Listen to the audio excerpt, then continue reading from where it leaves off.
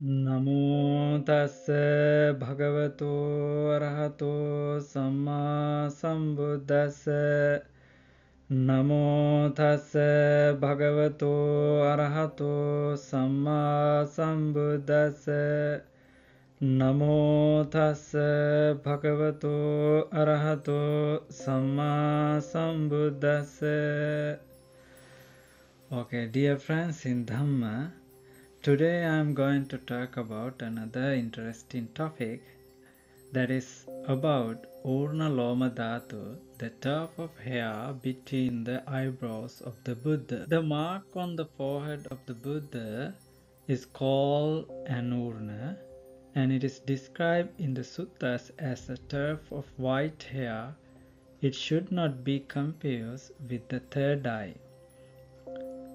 On Buddhist statues, the urna is sometimes represented as a single curl, as shown in this particular picture. You can see between the eyebrows of the Buddha is a single curl hair. Specifically, urna is a Sanskrit word and unna is the Pali word. They both mean the similar, like urna and unna, they both means the tuft of hair between the eyebrows of the Buddha. In this particular picture, you can clearly see the urna of, of or tuft of the hair between the eyebrows of the Buddha in this picture. It is turned to the right side. So, this Buddha statue especially was made of ivory or tusker in a few centuries ago period of Kandy kingdom in Sri Lanka. The urna is turned to the left here. You can see it. I think it was mistake by the artist who made this sculpture because he created this urna by standing in front of the Buddha and he made it from his right side. There are something happened like that. Okay. And this is a well-known, very famous Aukana Buddhist statue. The Aukana statue is a standing statue of the Buddha and made of stone near Kakirawa in north central Sri Lanka the statue, which has a height of more than 14 meters uh, or uh, 46 feet, depicts the Buddha with the hand raised in reassurance, a variation of the Abhaya Mudra. The Aukana statue is one of the best examples of a standing statue built in Sri Lanka. It is now a popular tourist attraction. The Aukana statue is widely believed to have been constructed in 5th century, but a number, number of opinions have been expressed. Therefore, the date is unverified. Let me share another picture of this statue, then you can see Urna well on this standing Buddha statue. In this particular picture is, is a closely you can see Buddha's face.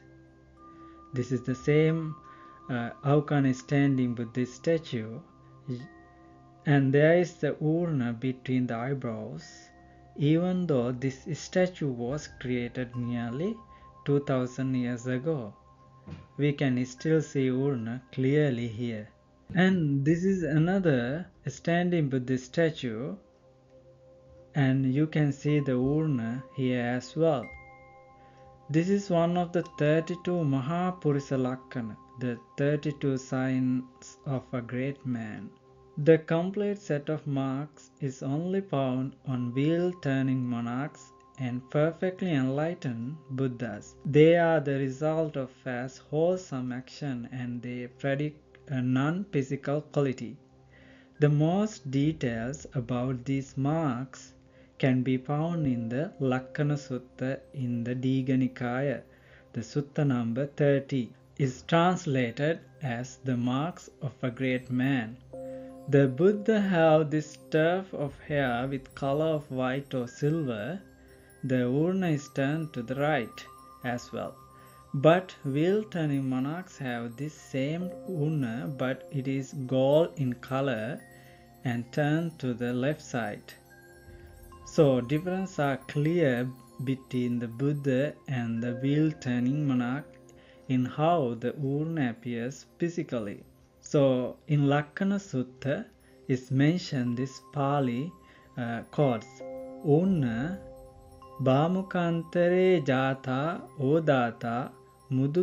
Sanniba The tuft of, of hair between the eyebrows eyebrows on his forehead is very white like cotton.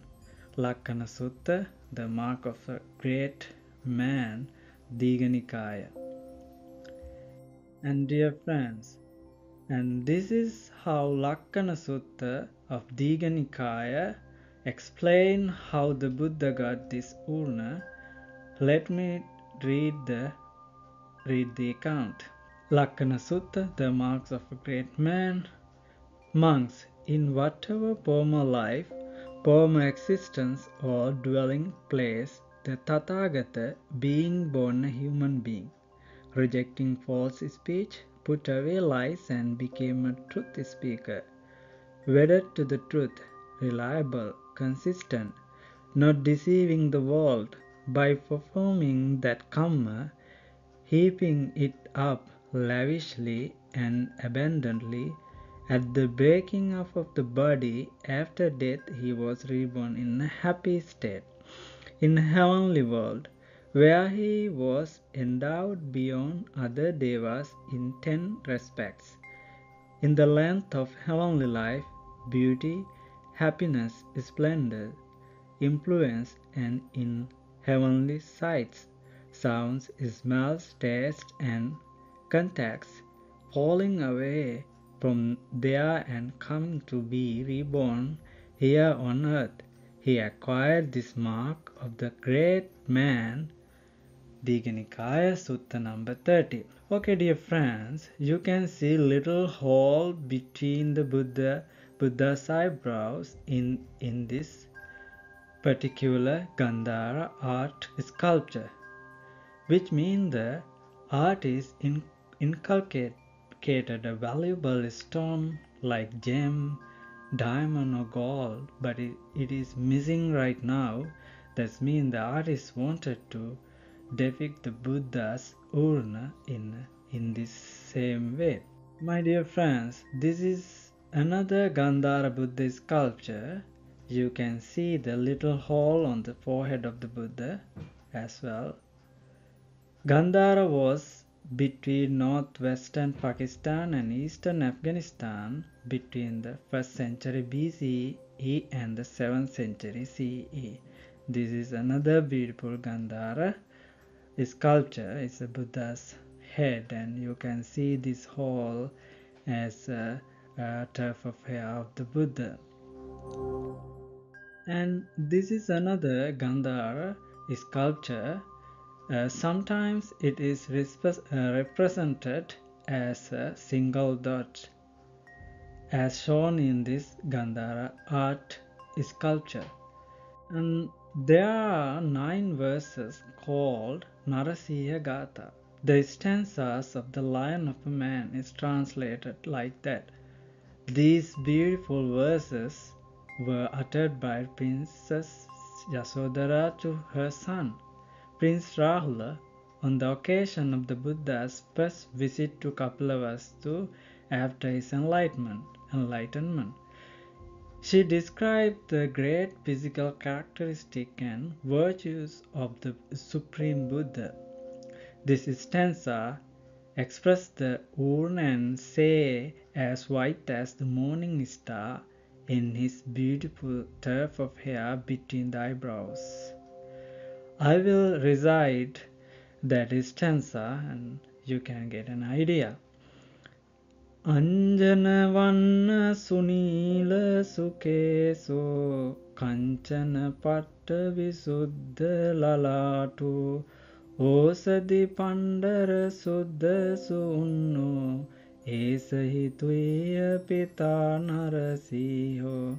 The meaning, like the color of collyrium in his, is his deep blue hair, like a polished golden plate is his forehead. As white as the morning star is his beautiful tuft of hair between the eyebrows.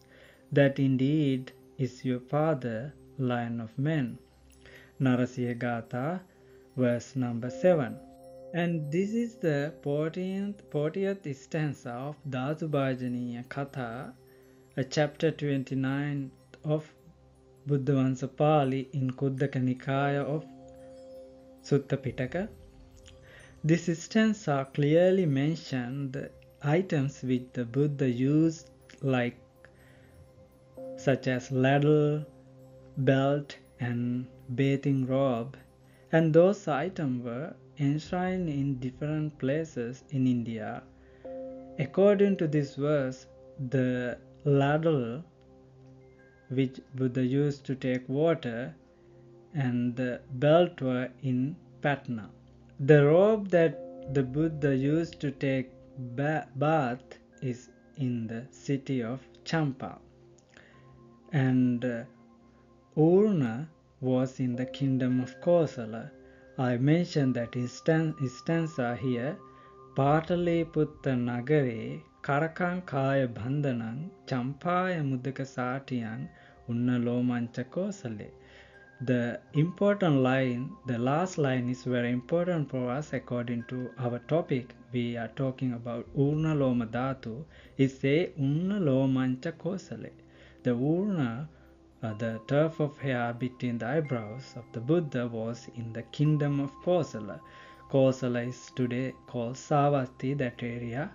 So this Urna was uh, enshrined in this particular area location so this is another gandhara artwork you can see a dot between the eyebrows is is represented buddha's urna and dear friend uh, this is jataka tales illustrate the fir- this jataka story called Magga Jataka story this tale illustrates the perfection of the character of wisdom, panya, how Buddha fulfill, how the Bodhisattva fulfill his prajna paramita. The Bodhisattva was once a king's advisor called Mahoshada. The king named Vedeha ruled in Mithila, and he had four sages who instructed him in the law.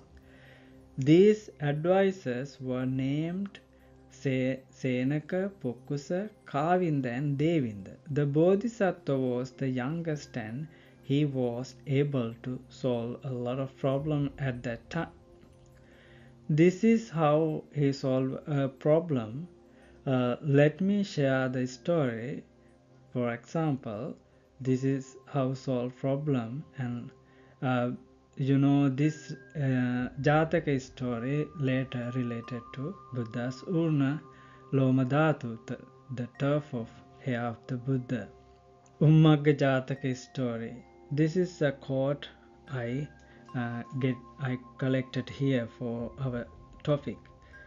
The gem, 12 part of the story, the gem, the gem which Sakka, the king of gods, gave to King Kusa was octagonal. Its thread was broken, and no one could remove the old thread and put in a new one. One day they sent this gem with direction to take out the old thread and put in a new one. The villagers could do either the one nor the other, and they told the sage in their difficulty.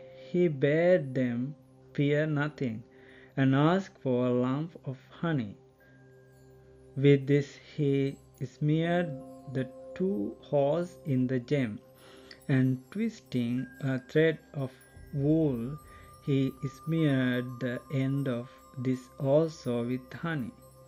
He pushed the wool thread a little way into the hole and put in it in a place where ants were passing.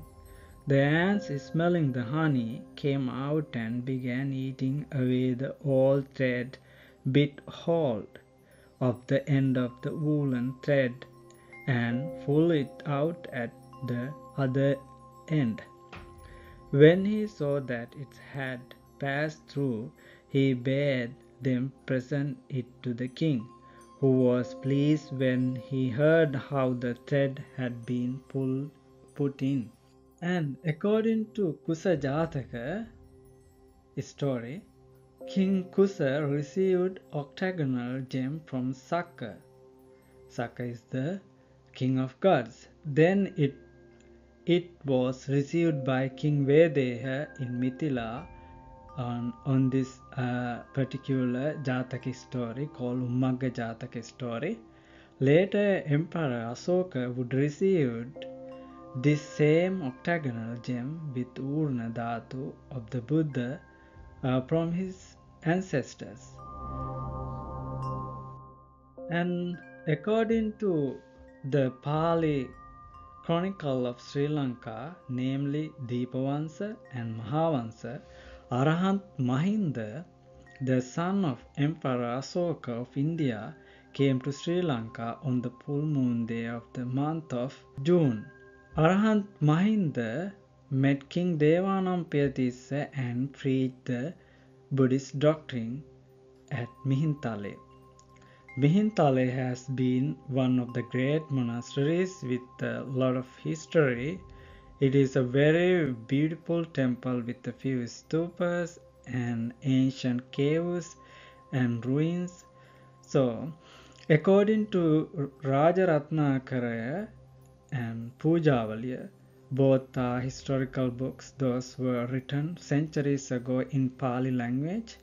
These two books say that Emperor Asoka gave the octagonal gem to his son Arahant Mahinda to take it to Sri Lanka, which had Urna Dhatu inside the octagonal gem. Arahant Mahinda secretly enshrined it in a place at the top of the mountain in Mihintale. Then this large stupa known as the Mahaseya, the great stupa, is one of the summit of the Mihintale hill built by King Mahadatika Mahanaga 7 and 19 AD.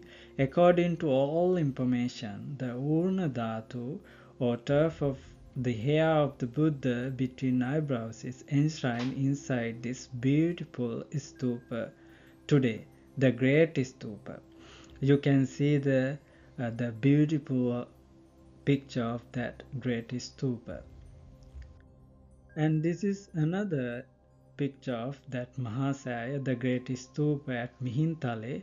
So you can see how beautiful is this location and that stupa is shining and like a like like a sky like a cloud. And this is another beautiful picture of that great stupa and you also can see the Aradhana Gala means a huge rock formation that bases the great stupa on a summit of a hill. In Pali chronicle such as the Mahavansa, it is written that great Arahant Mahinda came to Sri Lanka by traveling through the air. He came down and landed on the top of the uh, top, of that huge rock where he met King Devanampiyathissa from the first time. So you can see that uh, huge rock formation where the Arhat Mahinda landed. And also there is another is, uh, beautiful Buddhist statue uh, and the great stupa. Such amazing place, very blessed place. Uh, dear friends, and also I want to tell you that some countries used to mention urna or the tuft of hair between the eyebrows of the Buddha uh, in different ways. The, for example, you can see this Nepali Buddhist statue has urna like a line, beautiful line. So they use different uh, way to mention this, uh, represent this urna on Buddhist statues. And also another thing I want to tell you, uh, this is Arahant Mahakassapa, the third principal disciple of the Buddha and foremost Arahant of Dhutanga practicing, the uh, asceticism practicing. He had seven signs of a great man of man out of 32. Also, he had a urna, a urna tuft of hair between eyebrows, and you can see this tuft of hair in this picture between eyebrows. The artist uh, created it well. And these are the sources I used to make this information, this record. Uh, you can see Lakkhana Sutta, the mark of a great man, Digha Nikaya, Sutta number 30, and, and the 40th stanza of Dhatu Bhajaniya Katha, chapter 29, Buddha, Buddhavansa Pali, Khuddaka Nikaya of Sutta Pitaka, and also Narasiha Gatha, verse number 7, and Kusajataka story, Maha story. So these are the sources, so you can read and learn more about turf of the Buddha and also about Buddha's other relics and history. So they are very interesting uh, history and you can learn and have knowledge. And dear friends, I hope you learned something about the Buddha's urna, uh, the tuft of hair between the eyebrows of the Buddha. And thank you very much for watching the video. Don't forget to subscribe the Rare Truth YouTube channel to get notification of new videos. I conclude my talk by saying sadhu sadhu sadhu may all beings be well and happy. Thank you again